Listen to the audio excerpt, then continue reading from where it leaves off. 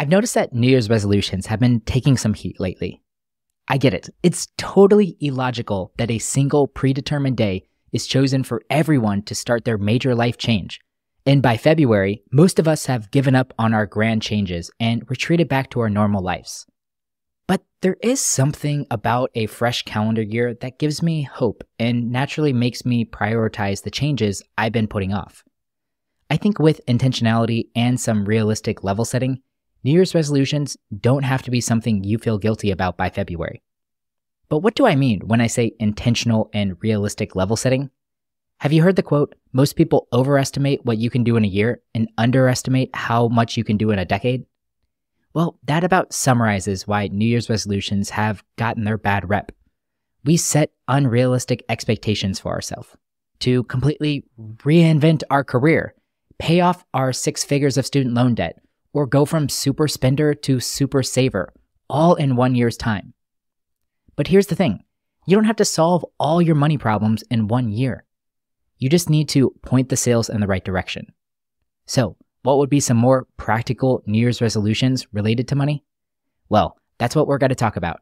Here are four realistic financial goals that you can accomplish in 2024 that will set you up for a decade of success. You know those moments where you think, I wish I would have learned this in school? Those are the topics that we love to talk about. Join me each week as I interview experts sharing their strategies for solving problems that us young adults will face throughout our 20s and 30s. So, what are you waiting for? If you want new episodes about adulting advice every Monday, hit that follow button.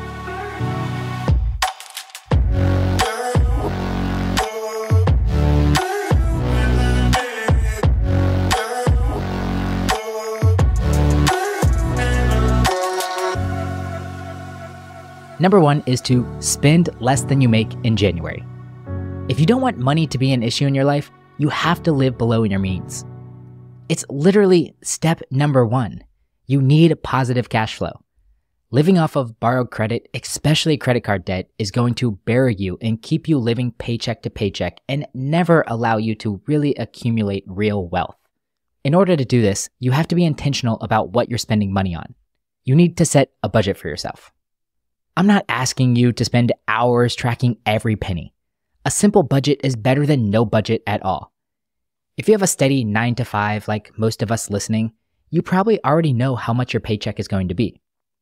At the beginning of the month, subtract out all your predictable expenses like rent, utilities, your phone bill, your insurance, and whatever is left is your maximum budget for all your variable expenses. Now, I think this is where you can have some flexibility. I don't think you need to track every variable expense. You already kind of knocked out your big ones like rent, utilities, your phone bill, all of those things. Everybody typically has one or two really, really tough variable expense categories.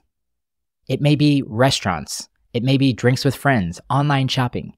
Pick a category or two to monitor closely and just let the rest be. Set a fraction of the proportion of your leftover money to be the maximum cap on those categories. So if I make $5,000 a month and my fixed expenses are $2,000, I now have $3,000 left to spend. Let's say that I want to allocate 10% of my $3,000 towards shopping. I now have a cap of $300 for shopping every single month. And I'm going to monitor that number really closely. At the end of every week, I'm going to look back and see anything that I've spent out of my shopping budget and then reset that for my following Monday. This will help you monitor the categories that might be pressure points on your budget while not spending a ton of time actually doing budgeting. If you're feeling really confident, try a no spend January. January is the perfect time to challenge yourself to do this, as many people are doing the same. Limit your discretionary spending and instead opt for low, low cost or free activities. Heck, even spend those gift cards that you got for Christmas. Doing this in January could set you up for a great habit for the rest of the year. Number two is to make an extra $100 in February. Okay, so January is over and you have successfully spent less than you made. It feels good because now you have some surplus money that you can put towards paying off debt, saving for a big goal, or investing for your future. And we did this all by mostly reducing our spending. Now it's time to work on the other side of the equation. I think the fun side, which is making more money. I'm really passionate about this topic because I believe it is so much easier to make extra money instead of restricting your spending, especially when it gets down to the hard things like buying a concert ticket to your favorite band's upcoming show or trying a new restaurant that you're really excited about. I'm all about the tactics that will make a huge impact on your income, like asking for a raise, which will be a huge topic in 2024's podcast episodes. But for today's conversation, I promised you small and realistic goals that you can set for yourself. So let's give you one here. I want to challenge you to make an extra $100 this month. Don't discredit this one. It's less about how much additional income that you're going to make and more about seeing the impact of that additional income. A really simple and easy place to start is selling your unused items on Facebook Marketplace. Each weekend, clean out and organize a new room in your house. It could be your bedroom, your closet, your bathroom, your living room, your kitchen, your car. Make a pile of all of the items that you no longer want. And if you think any of those could fetch you some cash, take some pictures and list them on Facebook Marketplace. I have sold a ton of things on Marketplace, from clothes, furniture, kitchen gadgets, exercise equipment, holiday decorations. I swear, it does not matter. There is a market for everything on there. Plus, it will feel really nice to purge and upcycle some of your unwanted items. If Marketplace isn't your jam, find another way to make some additional money. You could tutor, do gig work, pet sit, freelance, just make it happen in February. Number three is to create a $1,000 emergency fund in March. Imagine it's the beginning of March. We're living within our means and we're starting to make a little bit of extra money. We are no longer stretching what we have until our next paycheck. But one unexpected expense, a car repair, a shattered phone, a weekend warrior injury, and we're back in a really bad spot. But these unplanned expenses don't need to derail our plan. Of course, that's where our emergency fund comes in. Having $1,000 stowed away can pretty much get us out of any pinch, and March is the month that we start building our emergency fund. By the end of the month, we are going to set aside $100 into what we call our emergency fund. And for each of the subsequent months of the year, we're going to do the same.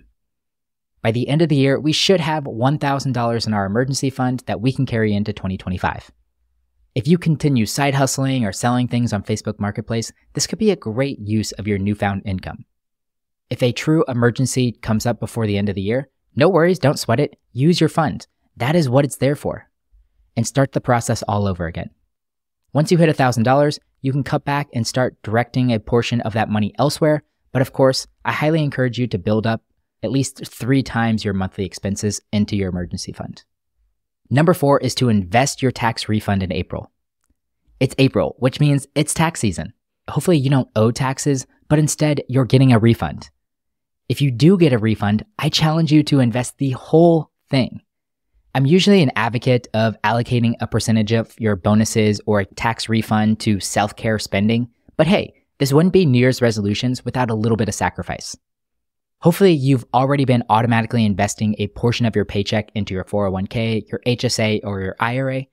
This is the way to be a successful long term investor but an opportunity like a tax refund is a great way to push beyond the systems you've designed for yourself. Let's assume that you get a $1,000 tax refund. Although it would be great to go take yourself shopping, you instead invest that money into a Roth IRA. You're 25 years old now, and in 40 years, whenever you're 65, you go to withdraw that $1,000. How much is in the account? $16,440. You didn't add any more money into the account. You simply let compound interest do its thing, and it grew 16 times over. Oh, and that was a conservative rate of 7% rate of return, which I honestly think you could probably bump up to 10%, but I wanted to give a realistic number in here with the cost of inflation as well. Now, what if you got into the habit of investing $1,000 of your tax refund every year? Whenever you look into that account 40 years later, you would have $229,000 in that account.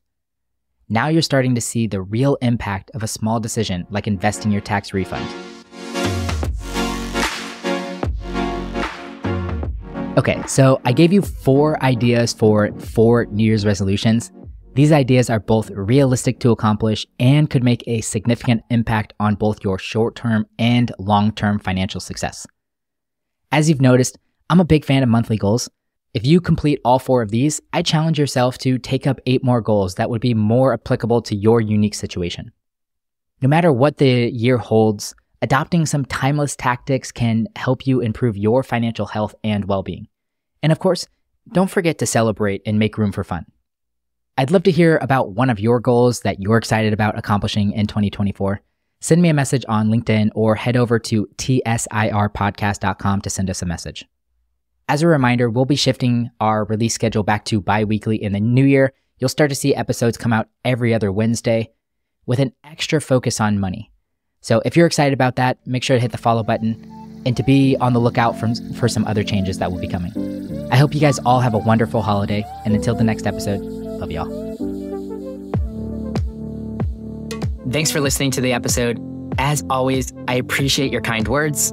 If you want to leave us a rating and review on your podcast player right now, that would absolutely make my day. If you want to find episode show notes, our blog, and other great resources, head over to tsirpodcast.com. If you have follow up questions, an idea for a future episode, or just want to say hi, we have a contact form on our website, and those messages go straight into my inbox. And I promise you, I will reply. But all right, guys, I really appreciate you tuning in. I love you all, and you're not alone. Let's keep making it through our struggles together.